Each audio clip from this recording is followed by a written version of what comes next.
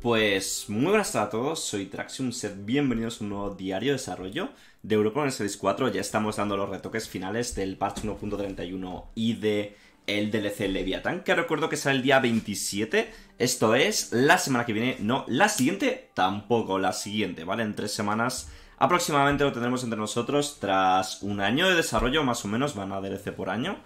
Así que eso, estaremos pendientes a ver qué tal sale y tal, porque hay cosas que ya sabéis que emocionan más y otras que emocionan menos, ¿no? Entonces hay que estar pendiente de cuándo llegue esto. En fin, ¿no? el diario de desarrollo nos lo presenta Saint Deep UK. En fin, es un tío que se dice que se dedica a hacer modelos de unidades y que los ha hecho pues para juegos como eh, DLCs previos del EU4 y para aquellos eh, otros juegos como Imperator Romeo Crusader Kings 3 que he hecho modelos de unidades también, ¿vale? Lo que vamos a ver en este vídeo es, en primer lugar, las canoas de guerra. Estos, estos son cambios más o menos importantes que recibe el juego base. O sea, esto va a venir en el parche gratuito. Y los modelos son parte del DLC Leviathan, ¿vale? No vienen un pack aparte, ¿vale? Todo eh, los elementos cosméticos como la música o los modelos de unidades van a ser parte del DLC Leviathan en este caso, no va a venir incluido en un DLC aparte como pasó pues en otros DLCs como con Emperor o como con Art of War, que vinieron en DLCs aparte, ¿vale? En primer lugar, las canoas de guerra. Esto es una nueva, eh, un nuevo barco, es un nuevo tipo de barco que introducen de forma exclusiva para los nativos. Va a estar disponible para todos aquellos países que empiezan con uno de tecnología y van a ser unos barcos de transporte que solo los pueden utilizar, pues eso, los nativos, ¿vale? Estos barcos de transporte, la gracia que tienen es que son mucho peores que las, que las cogs, las cogas, como las cocas, creo que se llaman. Son mucho, mucho peores. Así que eh, una coca en pelea directa con una canoa de guerra le va a partir la cara, pero van a ser bastante útiles e interesantes utilizarlas con los nativos. Así que tendremos que eh, ver qué tal son. De hecho, aquí estáis viendo el nuevo modelo, bastante chulo, son unas canoas. No tiene mucho más misterio, pero bueno, eh, nuevo modelo de unidad para estos, que esto va a ser gratuito, si no me equivoco. ¿Vale? Eh, si dicen incluido en, la, en el parche gratuito viene la canoa de guerra, una unidad básica de transporte que estará disponible para todos aquellos países que no hayan investigado la coca todavía. Permite a aquellos países con poco nivel de tecnología eh, meterse en combate naval y mover regimientos en torno a las provincias navales, lo cual, pues como podéis entender, va a ser muy útil en el sudeste asiático, por ejemplo, y veremos también si en Norteamérica, porque tampoco sé hasta qué punto hay mucho combate naval o tiene mucho interés el tema naval en Norteamérica, sé que hay nuevas provincias y tal, pero creo que los ríos no han recibido muchos cambios, así que eso, ¿vale? Dice, eh, tener la posibilidad de, de viajar por el agua abre un montón de oportunidades excitantes al comienzo de la partida si estás jugando con una tribu costera en América o Australia. De, todo, eh, de cualquier manera, ya que las canoas de guerra tienen en torno a un tercio de la habilidad de combate de una coca, no pueden ser confiables a la hora de pelear contra otras naciones más avanzadas tecnológicamente. Es decir, que en el momento en el que podamos investigar la coca habrá que hacerlo porque van a ser mucho, mucho mejores que en nuestras canoas de guerra, ¿vale? Pero bueno, esto es interesante porque supongo que vamos a poder colonizar con estas canoas de guerra. Es decir, yo que sé, por ejemplo, con Australia meternos en el Pacífico, en las islillas por ahí y tal. Entiendo, aunque no lo sé. Desde luego, esto va a tener algo de uso eh, de. O sea, va a haber algo de gameplay seguro porque.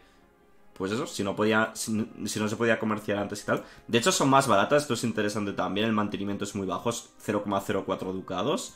Es decir, que nos lo vamos a poder permitir casi seguro tener alguna. Y lo que no sé también el tema de los marineros, porque creo que no se produce muchos marineros al principio, entonces. A ver cuántos marineros cuestan y eso. Y luego yo entiendo que lo del reclutamiento en masa de barcos que pueden hacer las repúblicas del sudeste asiático, bueno, o algunas, las repúblicas en general, con la reforma de gobierno aquella, si van a poder reclutar canoas. Pero claro, no creo porque eh, vamos a tener gobierno tribal probablemente en estos momentos, ¿no? En fin, vamos a ver ahora sí parte del DLC de pago, parte del DLC Leviatán, ¿vale? Insisto que esto no va a ser parte del, de un DLC cosmético adicional, sino que esto viene incluido en el DLC Leviathan, ¿vale? Eh, en fin, Los modelos de unidades, en este caso estamos viendo los aborígenes australianos y la gente de Polinesia, es decir, del que vive por el Pacífico. Muy chulos los modelos, la verdad, muy muy bonitos. Aquí vemos el logo de bueno, el logo de Paradox Tinto creo no lo estáis viendo en concreto, pero muy muy chulos los modelos, la verdad. Eh, poco que decir al respecto, me parecen una pasada. Están muy muy bonitos, ¿no? Eh, de hecho, creo que estos son los más destacables porque, joder, es que no, pues le da gracia especial a jugar en la región. el escudo este mola un montonazo. Y creo que es lo más destacable porque los siguientes ya vamos a ver que son un poco genéricos en, dentro de lo que cabe. Es decir, son modelos únicos, pero eh, ya van a ser todos más o menos iguales. En este caso estamos viendo a Yutaya. Eh, pues bueno, es país del sudeste asiático, contemplando también cómo avanza tecnológicamente. Bastante, bastante chulo también. No sé si estos se están viendo completos, sí, sí que lo estáis viendo más o menos. Eh, estos son los de Brunei, Borneo, como lo queramos llamar país importante también de la actualización. Aquí tenemos los de Champa. La gente se queja un montón de que no habían anunciado ningún tipo de modelos de unidades, así que yo me alegro un montón de que los acaben metiendo. Esta es típica cosa que, que mola ver dentro del juego, ver cómo las unidades de un país se diferencian de las de otros. Así que, ore por Paradox por, por finalmente meterlos, porque perfectamente podrían no llegar y aparte van a ser parte del DLC. Que es típica cosa cosmética que no solíamos comprar los que queremos apoyar el juego, así que veremos. Ya digo, esto es algo que normalmente era totalmente opcional, ahora te viene como parte del DLC, supongo que para justificar un, un poco más su precio, eh, ya que mucha gente pues podía optar si comprártelos o no, o te venían con el pase, pero está claro que, que es algo como mucho más subjetivo si le interesan o no estos tipos de unidades. Aquí estamos viendo los del Lanna, creo que es un país, eso, de del sudeste asiático también. Esto es Luang Prabang, país importantillo también. Y ahora vamos a ver los de eh, Maya Pajit. Maya Pajit, bueno, uno de los tochos también, ¿eh? Muy chulos estos modelos también. Muy, muy bonitos. Malaca. Eh, otro país sin duda importante. Probablemente con uno de los que juegue. Paguarruyung. Creo que es de los nuevos países. Importantillo también. Hombre, por supuesto son países importantes los que reciben modelos, si no, no tendría sentido. Y ya está, hecho de menos muy fuerte el Imperio Gemer. Que no tenga modelos me ha sorprendido un montonazo, tío. Me ha sorprendido muchísimo. Así que no entiendo, no sé muy bien por qué o si los meterán más tarde, pero desde luego me ha sorprendido un montón. Y nada, nos dicen que la semana que viene conoceremos los logros que vienen con el, con el nuevo parche, ¿vale? Entiendo que los logros se pueden desbloquear sin necesidad del DLC. Algunos, seguramente, y otros, pues probablemente hagan falta utilizar algunas de las mecánicas nuevas del DLC. Así que eso, poco más que decir por este diario de desarrollo, muy breve, muy cosmético, como nos tienen acostumbrados en los últimos diarios de desarrollo, que son súper breves. En principio eso, la semana que viene hay otro diario de desarrollo, que es el de los logros. La siguiente seguramente veamos las notas del parche.